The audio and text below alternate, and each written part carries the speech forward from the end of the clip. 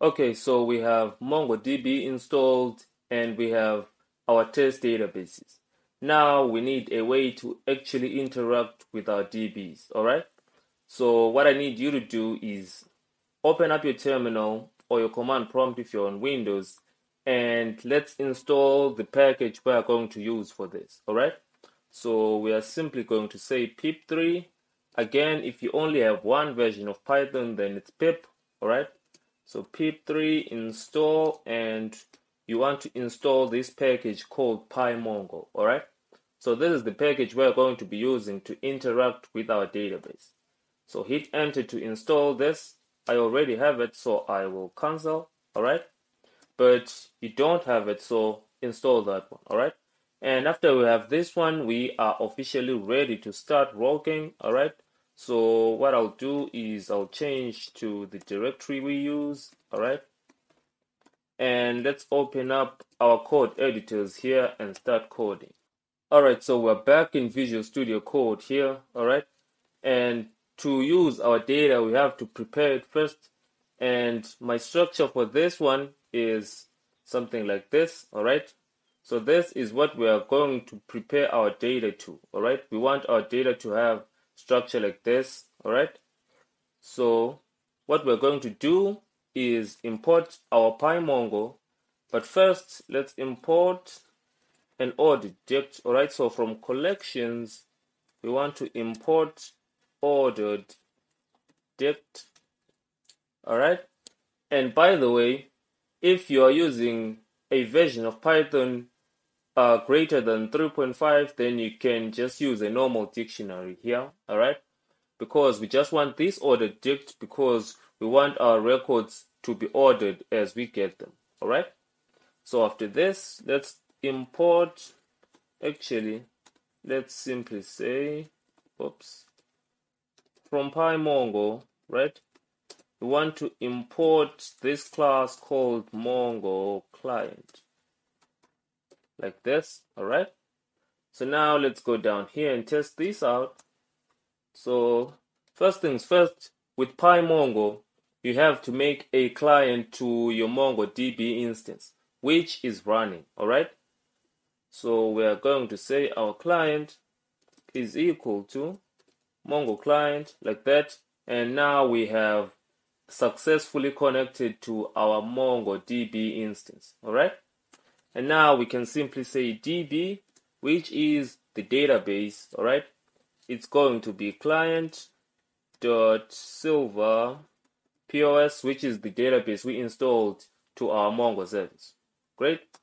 Now let's start with stocks. Actually, let's start with users. All right. So users is going to be db dot users. All right. Users is a collection in our Silver POS database. Okay? So that's done. Now let's simply say for user in users dot find all right? So find returns everything that is in the users collection if we don't pass in parameters in here all right? So dot find and we simply want to say print user mm, let's just print user first name all right so first underscore name i believe. Control s to save this. Now let's go down here and run it.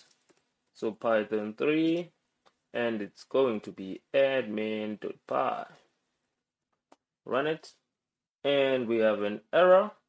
So we should say python 3 admin slash admin dot py like that Okay, so this is loaded. Now let's close this. Go back here and check for our users. Alright, so we are officially connected. We get all of the first names. Alright, so now we're connected to our database. We can start extracting information. Alright, so the first thing we are going to do is create our list, okay, which is going to be this. Alright, so we're simply going to say underscore users like this is equal to an ordered dict. Alright. Then we simply want to say first underscore names is equal to an empty list, alright? Then last underscore names is again an empty list. Then user underscore names is an empty list again. And what else do we have? We have passwords.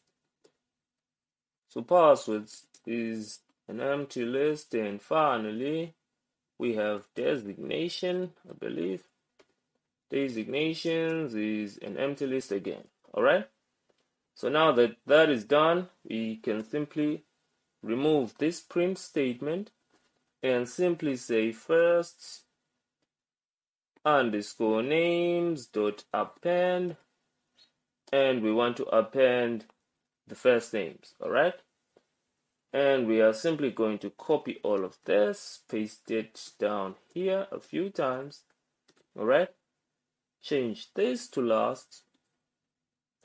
Last names change this to last change this to usernames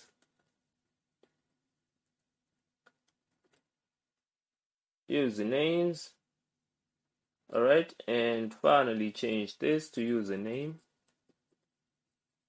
then change this to passwords.